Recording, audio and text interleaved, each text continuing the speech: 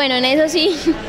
apenas vamos como a, plantearle también eso al señor alcalde, como hacer, bueno, usted qué nos propone a nosotros y a ver si nosotros también nos sirve ese tipo de cosas, ¿sí? Y que las consecuencias será asumirlas, que es sin vacaciones, listo, sin vacaciones nosotros lo hacemos. Definitivamente